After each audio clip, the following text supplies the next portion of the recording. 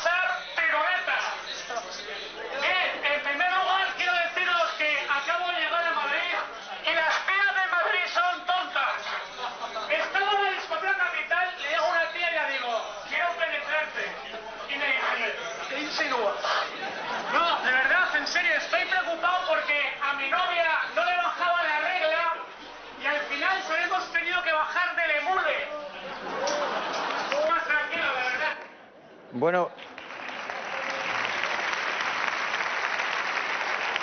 Como, como espectáculo, Gustavo, como espectáculo humorístico, pues la gente reía y tal. O sea, que eso no te digo nada, pero como suicida, la verdad es que hasta parecían encantados. Casi te sacan en hombros, ¿no? No, pero hay que echarle huevos para estar ahí, ¿eh? Que hay que echarle Hay huevos. que echarle huevos. Sí, hay que echarle huevos para estar viendo un Barça-Madrid que llega un tío con un megáfono a tocar los cojones. Pero aparte de eso, o sea, tu integridad física no veo que haya peligrado.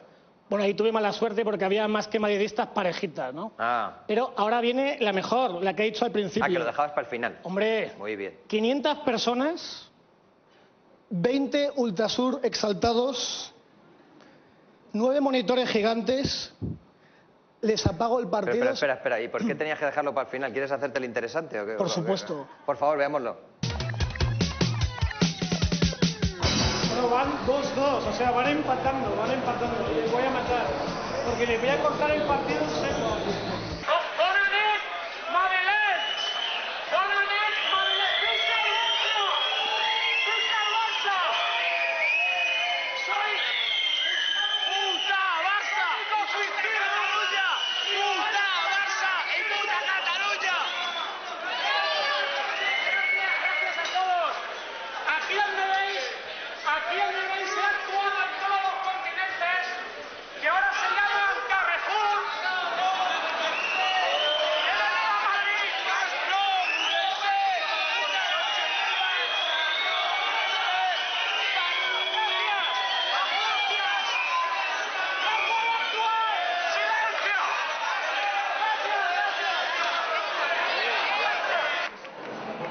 visto la reacción, ¿no? Estos son la gente de mi ciudad, de Madrid.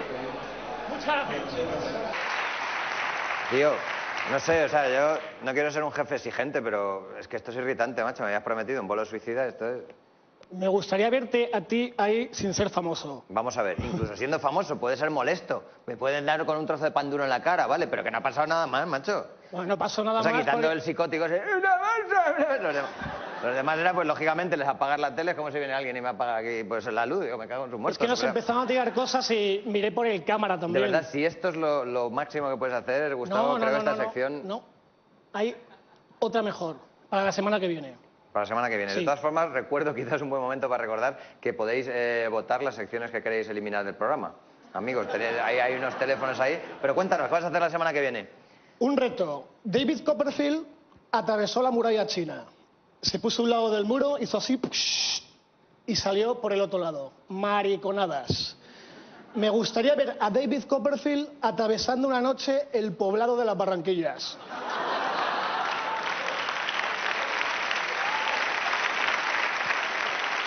Entonces, ¿vas a atravesar el pueblo de las Barranquillas o...? ¿Cuál es mi cámara, Santiago? Tu cámara ninguna, valen todas 18.000 euros y son alquiladas, pero puedes utilizar esa del fondo. Esa del fondo. Sí. La semana que viene voy a actuar en el poblado de las Barranquillas, donde hay yonkis y traficantes. Claro, ¿qué quieres que haya? Y pasa. Pero pase lo que pase, lo vais a pasar piruleta. Muchas gracias, Gustavo Biosca. Hasta la semana que viene.